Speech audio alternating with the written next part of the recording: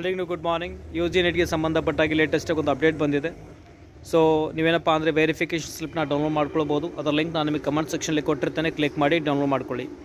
ಯಾರು NEET document ವೆರಿಫಿಕೇಷನ್ಗಾಗಿ ಕೆಗೆ ವಿಸಿಟ್ ಮಾಡಿ, ನೀವು ಆಲ್ರೆಡಿ ಅಲ್ಲಿ ವೆರಿಫಿಕೇಷನ್ ಮಾಡಿಕೊಂಡ್ರೆ ನಿಮ್ಗೆ ಆಲ್ರೆಡಿ ಸ್ಲಿಪ್ ಕೊಟ್ಟಿರ್ತಾರೆ.